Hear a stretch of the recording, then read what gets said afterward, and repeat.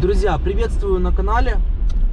Сегодня в этом видео я хочу рассказать, сколько можно заработать в такси в Литве, в Вильнюсе по программам Bolt, Uber, Яндекс. Хочу определить, что такое работа в такси. Работа в такси это не работа в офисе. И здесь все зависит от вас. Тут можно заработать от 20 евро в день до 120. Если вы работаете, вы хорошо зарабатываете. Если вы часто курите, пьете кофе, просто сидите втыкаете в интернете, тогда, соответственно, будет минимальный заработок. То есть здесь все зависит от вас. Конечно, бывают дни джекпоты. Это когда заработок 150-170 евро на руки идет. Как, например, в одном из видео, которое я публиковал, когда я ездил в Клайпеду, когда у меня за день получилось порядка 180 евро заработать. Но эти дни это, скажем, исключение из правил. Их эм, в год может быть 10, максимум 15 дней, которые я помню. Итак, давайте вернемся к просчетам. В моем понимании идеальная рабочая неделя состоит из пяти с половиной шести дней по 11 часов. У меня, конечно, не всегда получается 6 дней, но 5 или пять с половиной дней точно получается, потому что если работать больше, это идет уже перегрузка организма. Я знаю людей, которые работают 7 дней в неделю по 15 часов, они приезжие, но это идет насилование организма. Максимально допустимая норма, чтобы не во вред было и было время сходить и в тренажерный зал, и выходной день сделать, это пять с половиной рабочих дней. Пять с половиной шесть. Ну, давайте отталкиваться от шести дней для простоты подсчета. В конце этого разговора я предоставлю скрины рабочей этой недели по Болту, Яндексу и Уберу. Для того, чтобы было правильное понимание подсчета, проведу ликбез. Валовый доход называется по-умному. По-обычному называют это общая касса в день. Так вот, общая касса в день сейчас составляет после карантина 120 евро в день. Что сюда входит? Сюда входит комиссия Uber 25%, Болта 20% и э, Яндекс 17. То есть в среднем это получается 20%. То есть 120 евро в день это еще не прибыль. Итак, зафиксировали. 120 евро получается общая касса в день. Из них мы отдаем комиссию 20% и получается мы получаем на руки 100 евро. Но это тоже не получается прибыль. Дальше мы идем к затратам по порядку. Первая основная статья затрат это топливо. В среднем у меня идет пробег в день 250 километров. Учитывая, что у меня идет э, гибрид на газу, у меня расход около 6 литров на 100 километров газа. То есть в день на газ я трачу около 11 евро. Но также я трачу на бензин в месяц плюс 40 евро на полный бак. Итого, считаем, у нас в месяц 26 дней, умножаем на 10. Это 260 плюс 26 евро, 286 плюс 40. Это получается у нас 326 э, евро э, в месяц идет на топливо. Но вы учтите еще такой момент. Это у меня экономичная машина. А есть люди, которые ездят на совсем других машинах.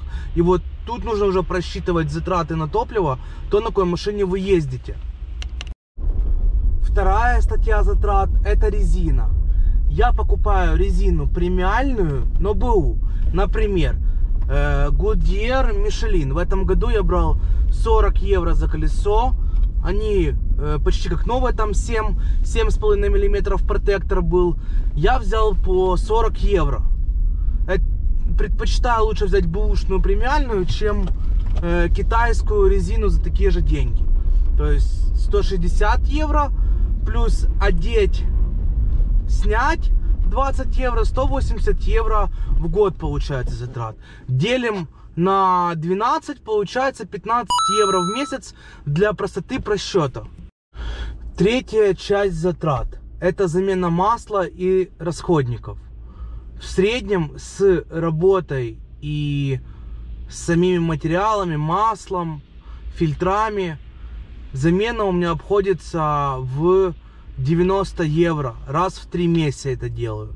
То есть 90 делим на 3, минус 30 евро в месяц на масло откладываем. Четвертый пункт это непредвиденные расходы или же предвиденные, но мелкие. Например, там замена жидкости, покупка антифриза одной баночки там раз э, в месяц или раз в два месяца. То есть мелкие затраты. Э, например, там в прошлом году я проходил техосмотр, мне нужно было покупать э, две противотуманки, 70 евро. Ну, то есть такие непредвиденные затраты, которые они идут по машине, давайте отложим 25 евро в месяц. С таким небольшим зазором, потому что в прошлом году я менял и ступицы, это 200 евро обошлось заменами. В позапрошлом году батарею ремонтировал 300 евро, то есть 25 евро минус в месяц это на какие-то непредвиденные затраты. Пятый пункт. Страховка, ГОшка, ответственность водителя, если он вдруг нанесет кому-то ущерб, то есть в случае ДТП аварии. Э, для перевозчиков она стоит 400 э, с копейками, ну около 500 евро. То есть откладываем 40 евро в месяц на страховку. Следующий пункт затрат это налоги. Конечно, многие, кто с Украины засмеются от слова налоги, но здесь я плачу все налоги, я знаю, что некоторые водители уходят от налогообложения, не показывают доходы. Я плачу все налоги и сплю спокойно. Первый из налогов это обратный НДС.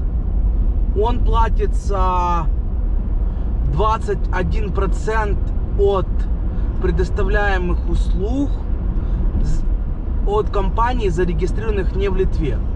Uber и Bolt это компании, которые зарегистрированы не в Литве. В месяц у меня уходит 70-80 евро в зависимости от того, какую кассу я делаю. Давайте зафиксируем 80 евро обратно НДС. Следующий налог это медицинская страховка. Она сейчас составляет 44 с копейками. В общем, 45 евро в месяц это медицинская страховка, чтобы вас бесплатно обслуживали. Точнее говоря, не бесплатно, а в государственных клиниках обслуживали, грубо говоря, за абонплату 45 евро в месяц. И последние налоги это СОДРа, социальный, социальный взнос и налог на прибыль. Они составляют по 15% э, от э, от тех сумм, которые я только что озвучил. То есть минус 30%. Итого при такой загруженности получается 1500 евро чистыми. Много это или мало это, считайте сами. Я считаю, что это нормально. Итак, подытожим. С общей кассы за 26 рабочих дней Получается, при идеальной работе 3120 евро в месяц. После всех затрат, которые ушли уже, получается 1500 евро чистыми. Уже после налогообложения. И самое главное, вишенка на торте, это как бонус просто. За каждый рабочий день в среднем идет 3 евро чаевых. Бывают дни, когда 15 евро, когда 10 евро, когда 8. Бывает, когда 1 евро. Ну, в общем, я беру, к примеру, э, минимальное. 3 евро в месяц. То есть это получается плюс около 80 евро идет э, приятный бонус.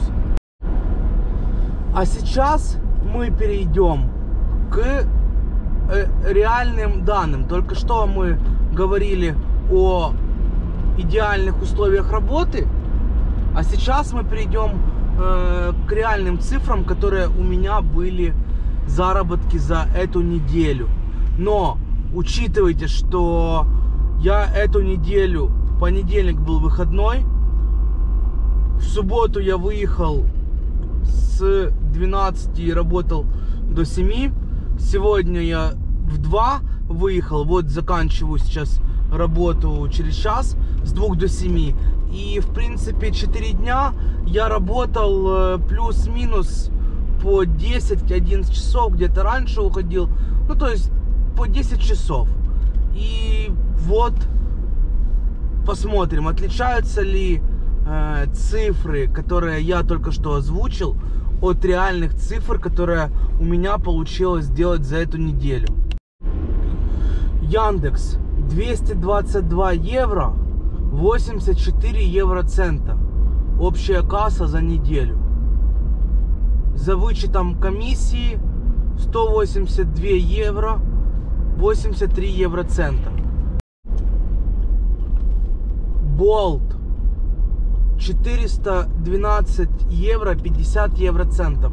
Общая касса. На руки я получаю 379 евро 68 евроцентов. Uber. Общая касса получилась 36 евро. На руки я получаю 29 евро 4 евроцента. Итак, подведем итог. За эту неделю у меня получилось 671 евро 34 евроцента. Это общая касса. Идеальная неделя это когда 720 евро. Немножечко не дотянули, но учитывая, что я работал гораздо меньше, чем э, в идеальную неделю можно работать, то, грубо говоря, те цифры, которые я говорил, они совпадают.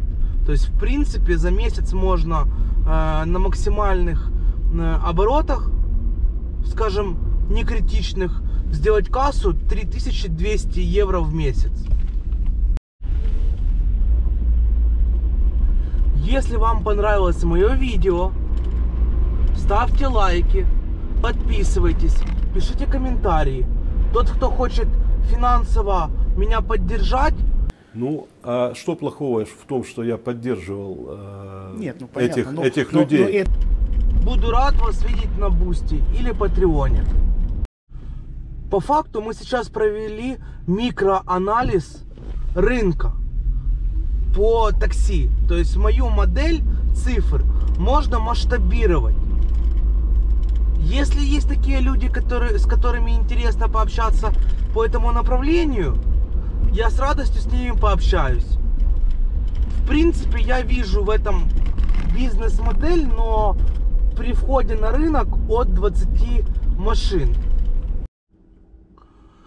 Всех благодарю за просмотр. Пишите в комментариях, какие цифры получаются у вас.